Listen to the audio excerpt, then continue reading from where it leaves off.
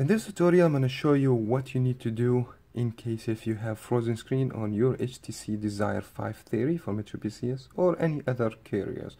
So let's find out.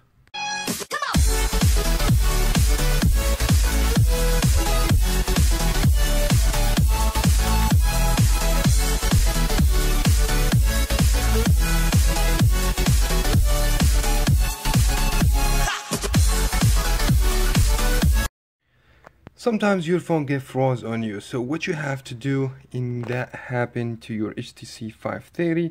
So technically the HTC has an option to restart the phone since the battery is not removable so it's gonna be hard for you to remove the battery then after that reset the phone so if that happened with you you have to technically press on power and volume down same as I'm gonna do right now maybe the phone is gonna take a screenshot right now because because this phone technically it's not frozen right this moment. Well, once it's frozen on you you have just to keep push and hold. It's gonna take about 10 seconds to 15 seconds. And after that the phone is gonna make a restart as you guys can see right now. And no matter what is the frozen screen on that phone it should be removed. That was very much it for that video. I wish you guys find this video helpful.